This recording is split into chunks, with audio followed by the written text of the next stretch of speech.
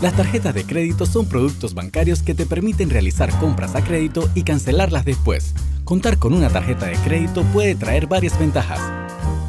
Reduces el riesgo de cargar dinero en efectivo. Cuentas con una mayor solvencia económica en casos de emergencia. Puedes acumular millas para viajar o puntos que luego pueden ser intercambiados por premios.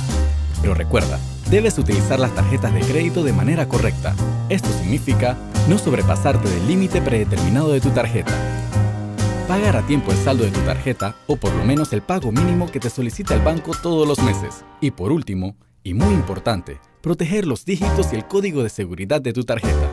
Si cumples con esto, evitarás endeudarte, pagar sobrecargos o intereses innecesarios. Ahora que hemos repasado las buenas prácticas del uso de las tarjetas de crédito, te preguntarás qué necesitas para obtener una. Al igual que cualquier producto bancario, hay diferentes requisitos.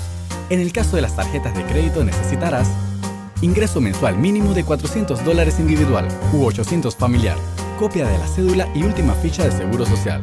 Buenas referencias de crédito.